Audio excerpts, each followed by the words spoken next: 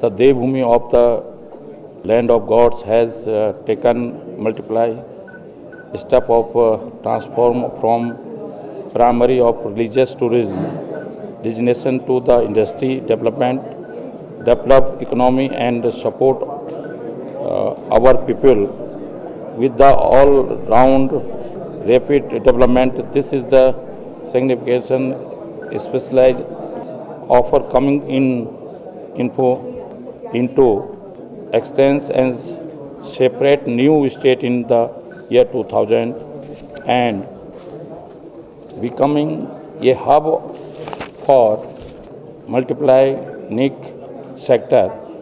In the journey, the center government has also been partner by ensuring adequate resourcing were provided of the state through its own policies and scheme like industry development scheme for Himachal and Uttarakhand. The state has a unique line behind of growing industry and mechanized infrastructure ability of nature resources complemented with the uh, sizable population of the enterprising young minds.